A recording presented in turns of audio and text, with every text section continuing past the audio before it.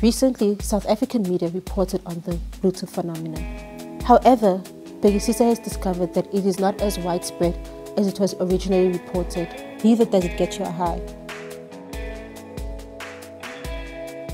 There is not enough substance in the blood to get you high. You are purely experiencing a placebo effect.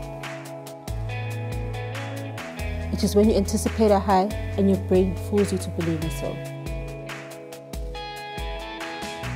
You need a quarter of a gram of heroin to get high. That translates into a pinch of salt. The average human body has 5 to 7 liters of blood.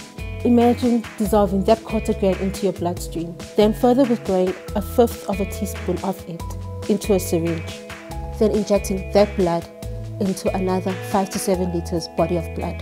There's not nearly enough heroin in that blood to get you high. The only thing you are succeeding in is making yourself susceptible into contracting HIV and hepatitis C. It only takes a microscopic amount of blood to get you infected.